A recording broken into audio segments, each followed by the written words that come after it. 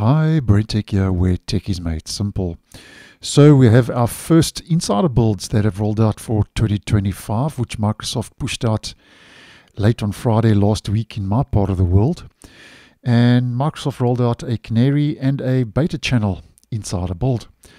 Now, first of all, focusing on the Canary channel, not much really happened for the Canary channel um, for last week, where Microsoft says the update includes a small set of improvements and fixes that improve the overall experience for insiders running this build on their PC. So basically, this is just fixes pertaining to the Canary channel and issues that users have been experiencing in the Canary channel. Where the first is they fixed an issue where if you roll back from build 27764 to an earlier build, you would see and your organization used app control for business to block this app dialog when attempting to use or install certain third-party apps on your PC. And this was all according to Microsoft due to an incorrect policy being enforced. And then if you were seeing an error 0xC190010, uh, it has been addressed. And apparently this was due to an increase in rollbacks, the error.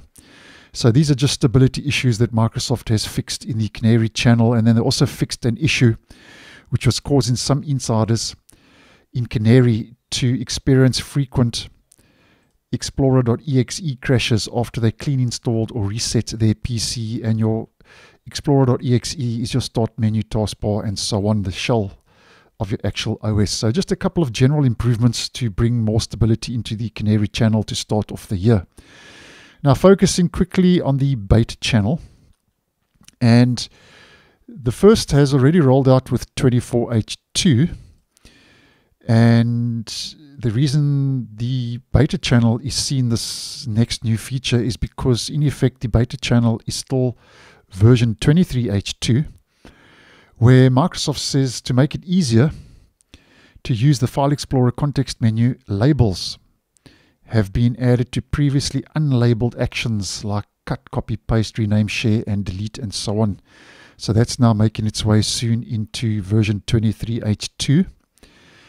And then something else I've posted on previously, which I'll leave the video to this link down below and in the end screen. In addition to the keyboard shortcut Control Alt and minus to quickly toggle between the current zoom and one bar zoom introduced in a previous build, which I posted on, linked down below end screen. Microsoft now has also added buttons in the magnifier to reset zoom to fit to screen and reset zoom to your last preferred magnification. And what we are looking at here are the new buttons uh, in magnifier to reset zoom to fit to screen and reset zoom to your last or preferred magnification highlighted in this red box as mentioned. And then something else I've also posted on, which I'll leave linked down below in the end screen. Uh, suggested actions that appear when you copy a phone number or future date in Windows 11 are now deprecated. So with this build, Microsoft says it's beginning to disable the feature, but go check that video out for more info.